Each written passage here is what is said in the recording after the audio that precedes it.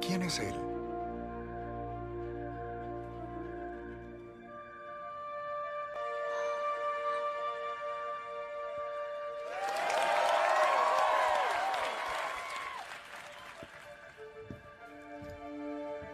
Llega el hermano perdido y tú no le quieres dar una...